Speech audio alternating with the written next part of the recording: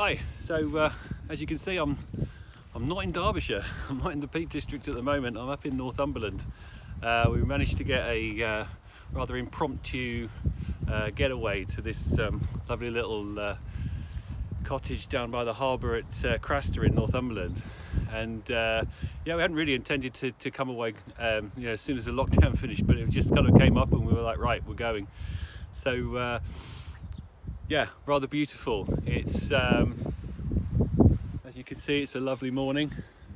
I just thought I'd get down here uh, wander down by the rocks I think. Get down on those rocks over there behind me. Get a bit of painting done.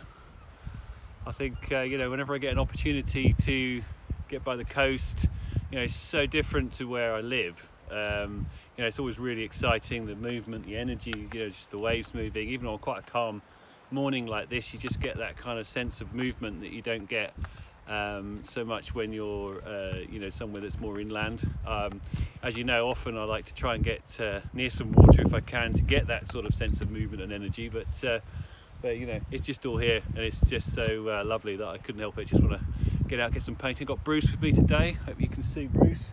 Heads up Bruce? There we go.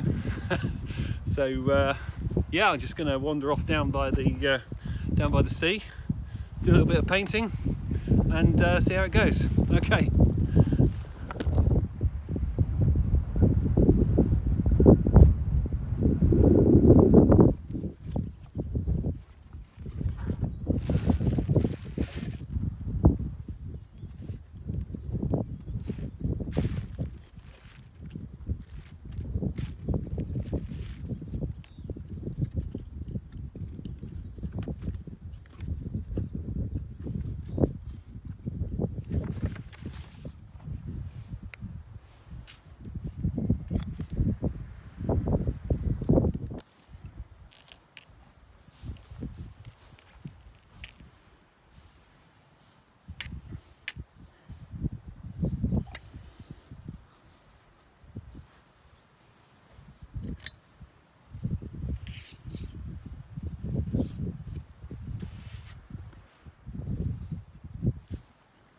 what I really love about it uh, up here in particular um,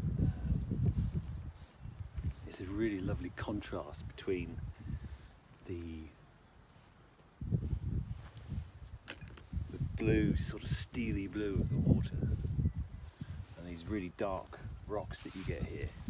And also on the rocks there's all this fantastic lichen uh, growing on there. So you're getting this really good mixture of this uh, quite strong colour and really contrasty tones. I'm going to try and get a bit more of that in, in there as I go on. Obviously it's early days but I like to sort of make these little, uh, it's almost like a little note to myself as I'm going along at the start by you know, spotting things and then as it goes along it can sort of develop so, so I'm thinking about dark rocks, steely blue sea, and lichen.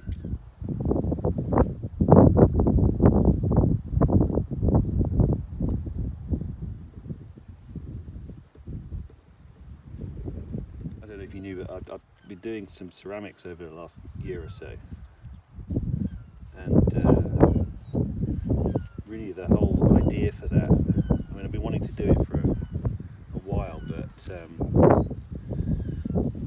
when I came up here, oh, it must be a couple of years ago now, the first time, and I was looking at all the shapes of the rocks and the kind of these kind of uh, and the lichen, these just sort of colours of the lichen, the textures.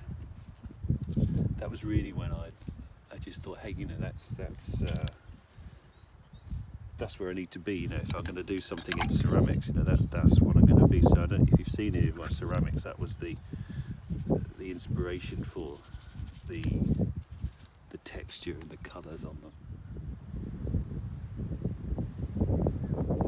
So it's always important for me to try and, uh, as I go on through a session of sketching, is to just um, try and approach you know, each painting in a slightly different way. I mean, I've done a few now, and um, mean, I've you know got the dark down that I like to get down, just to give me somewhere to start. A bit of water. I'm just trying to sort of um, just do this one in a slightly different way. Get some more of these sort of pencil marks in here earlier on. Let's see how that develops. So I think it's always good to session goes on, I sort of point myself in a slightly different direction, you know, look in a different direction, notice something else, try and find some different shapes, different ways of making marks. Uh, you know, that way when I get them back to the studio, I've got this kind of uh, variety of different things. You know, sometimes you know, some things will work better than others.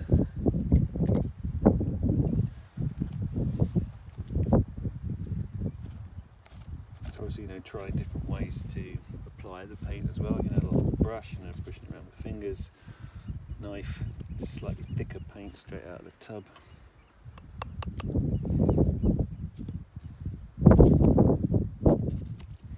You know, so it's another type of mark. With it being so warm and quite windy, this acrylic will probably dry quite fast hopefully I'll be able to work into it a little bit, um, go over it without without disturbing what's underneath if it dries off enough to do that. Get some layers building up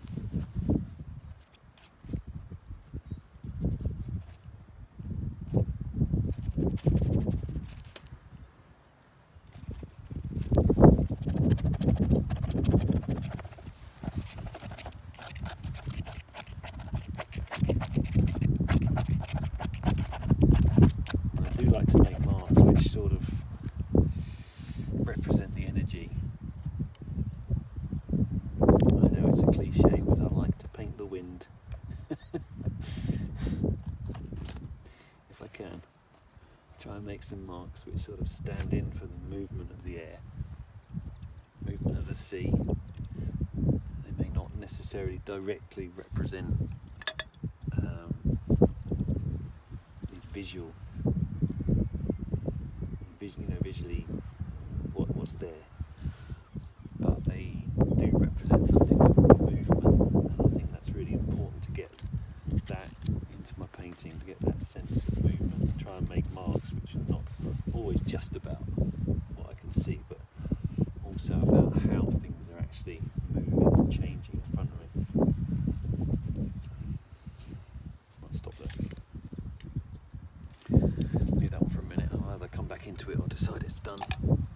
But you know, I'm probably going to do a bit of collage with all these later anyway, so yeah, I might leave that for a minute.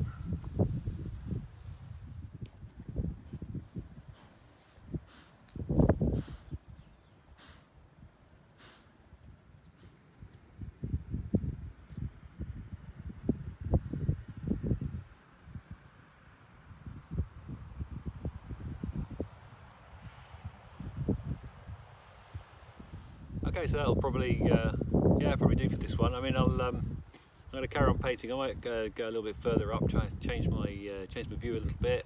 Uh, maybe get a little bit closer down to the, uh, down to the sea. Um, yeah, I mean, it's, uh, it's really nice here. Uh, I think Bruce is ready for a little, a little wander. Stretch his legs. He's a bit bored. He's very good though. Um, yeah, so you know, I think so. Like I was saying in the as I was painting, you know, it's just just trying to get this this uh, feeling of what's of what's in front of me. Not worrying too much about um, you know making finished pieces of work in any way.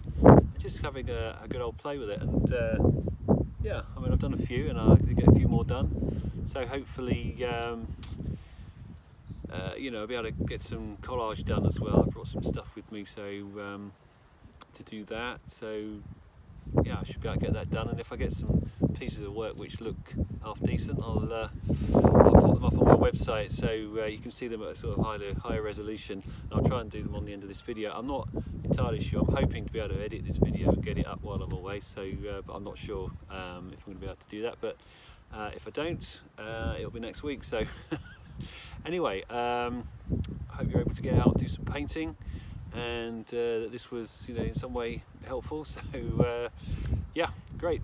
Thanks a lot for watching and uh, don't forget to subscribe and I'll see you soon.